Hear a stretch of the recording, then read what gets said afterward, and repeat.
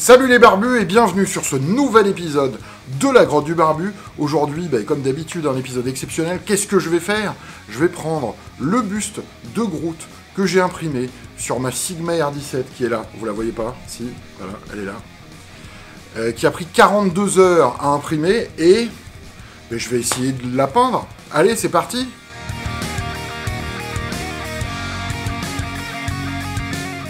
Je commence donc par prendre mon impression du buste de Groot que j'ai imprimé sur ma Sigma R17 et qui a duré un peu plus de 42 heures. Je la pose sur mes pyramides de peinture et je vais donner une première couche de marron foncé.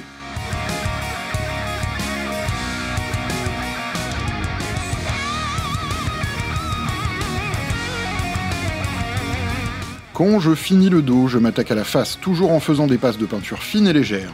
Le but ici est de faire une première couche, un fond, pour ensuite peindre ce joli buste.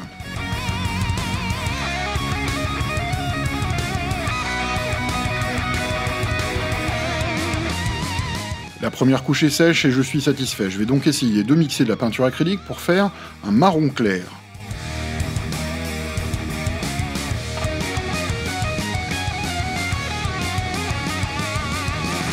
Je mélange du jaune avec du bleu pour avoir du vert et je rajoute du rouge pour tenter d'avoir du marron. Mais la couleur est affreuse, vraiment affreuse.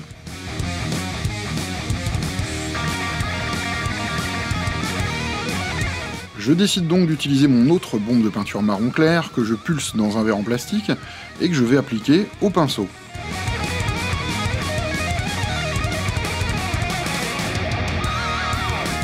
Le but ici était de peindre la surface en laissant les crevasses en marron foncé. Et comme vous pouvez le voir, le résultat est hautement merdique. J'aurais pu ou dû m'arrêter dans ma peinture, mais je persévère dans mon effort pour un résultat plus que contestable.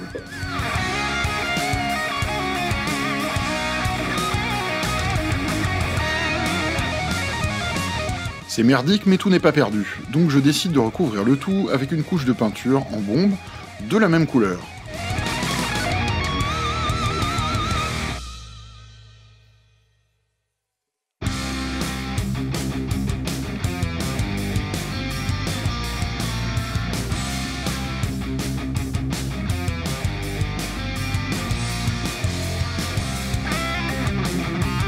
Plutôt que de retenter de faire ça au pinceau, je décide de prendre ma bombe marron foncé avec un cap basse pression et d'asperger doucement le buste pour donner à l'impression du volume.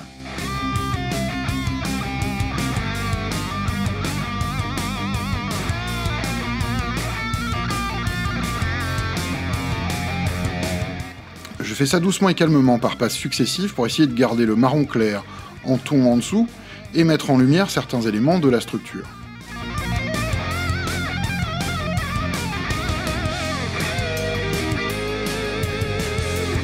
Bon j'avoue, c'est pas ultra top, mais moins pire que ce que j'avais fait avant.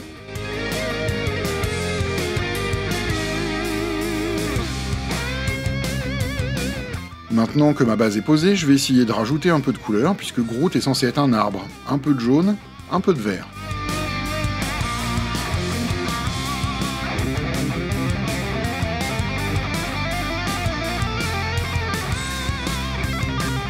Je choisis de l'appliquer aux endroits les plus proéminents, d'abord en commençant par le jaune, puis en repassant dessus avec le vert.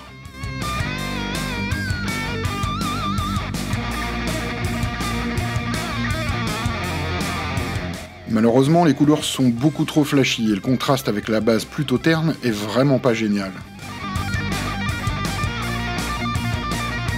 Une fois de plus, plutôt que de tenter de trouver une couleur plus appropriée, je continue dans mon chemin, pour arriver à un résultat plus que moyen.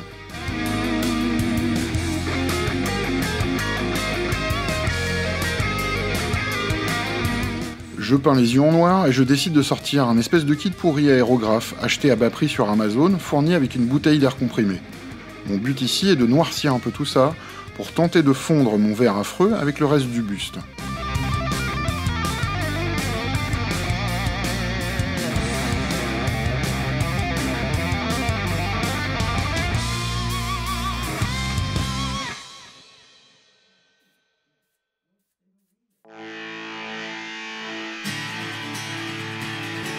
Comme vous le voyez, l'aérographe en plastique et ses réglages pas vraiment fiables, ainsi que mon mélange de peinture pas vraiment approprié, n'ont pas fait de miracle. Ça assombrit un peu le tout, mais ça reste quand même bien moche.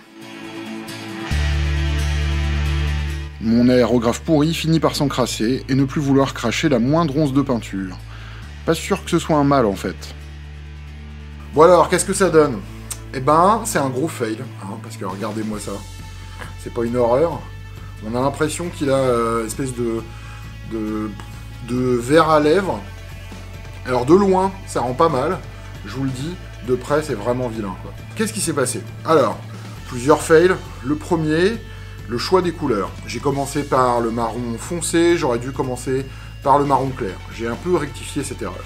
Ensuite, ma deuxième erreur, c'est pour tous les highlights entre guillemets que j'ai fait en vert et jaune, euh, c'était du vert et du jaune qui était beaucoup trop, beaucoup trop clair et qui dénote vraiment par rapport au reste du buste. Euh, la dernière chose, ma technique de peinture est vraiment pas au point.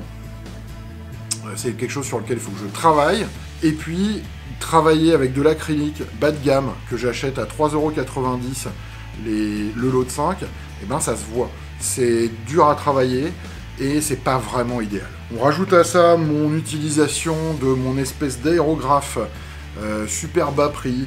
J'ai acheté peut-être 15 balles sur Amazon avec une espèce de, truc sous pression euh, qui balance de l'air. Euh, c'est vraiment pas génial.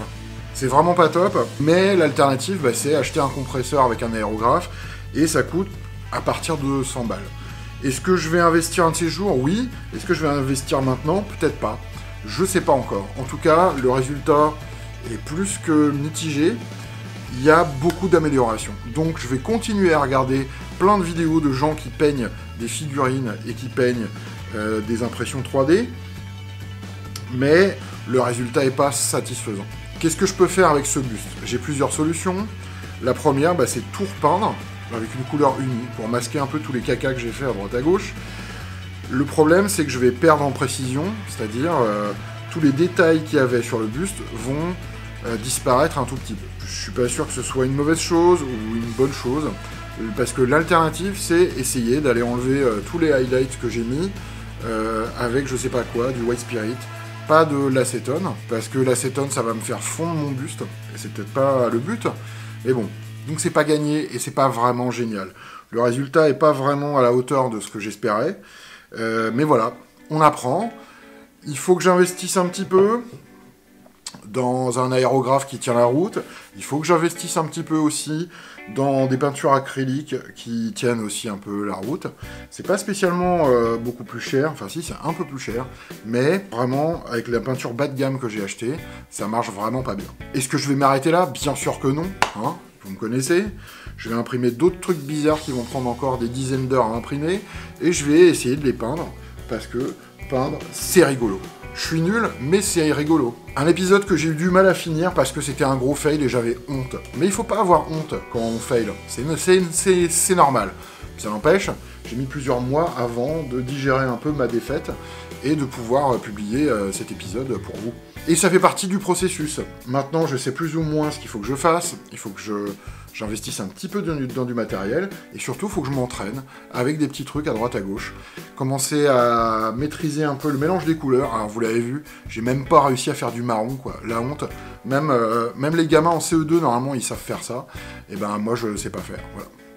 Donc euh, je vais me renseigner sur tous ces trucs là et dans un prochain épisode, je vais certainement peindre un, autre truc. J'ai plein de trucs de toute façon que j'ai imprimés et qui traînent à droite à gauche. Donc c'est pas des choses à peindre qui manquent. Et dans les prochains mois, je pense que je risque d'investir dans un petit compresseur et un petit aérographe. L'ami Bankai m'avait envoyé des liens. Ben, un de ces jours, je vais appuyer sur le bouton et les acheter. Comme d'habitude, bien sûr, tu as des questions, des insultes, tu sais comment faire. Tous les liens pour nous joindre sont dans la description.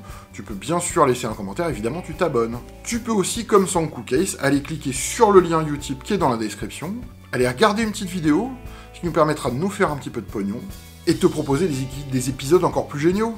Tu peux aussi, comme ma chérie, aller représenter la barbitude, hein, aller dans le shop, t'acheter un t-shirt, des sweats, ah là là, trop bien Voilà, c'est tout pour cet épisode. J'espère qu'il vous aura plu, j'espère qu'il vous aura incité à faire de la peinture. Si vous aussi vous faites de la peinture et vous êtes complètement moins nul que moi, n'hésitez pas à m'envoyer un petit mail ou à laisser un petit commentaire.